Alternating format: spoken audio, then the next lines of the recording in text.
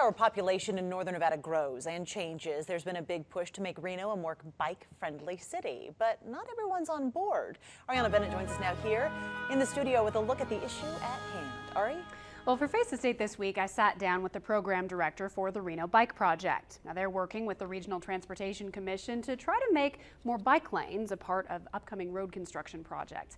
Now, they say the cycling community in Reno is growing quickly.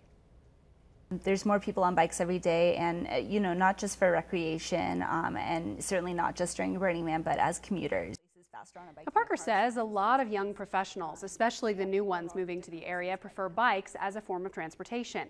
But she says Reno needs to make some major infrastructure changes to be a more bike-friendly city. Now, the Reno Bike Project is pushing for bike lanes to be added to the Virginia Street remodel that's planned for 2017. But she says there has been pushback from some business owners who are concerned about losing parking. There's a lot of contention around whether there's going to be bike lanes on Virginia, um, which I think is 100% necessary. And a lot of people who live and shop in that community midtown and, and who are in the college area think are really necessary. And if you'd like to see the full interview, just tune in or set your DVR for Face the State this weekend. It's airing on Saturday at 4.30 a.m. and 4.30 p.m. and on Sunday at 6.30 a.m. and 4.30 p.m. Covering the story live, Ariana Bennett, Channel 2 News.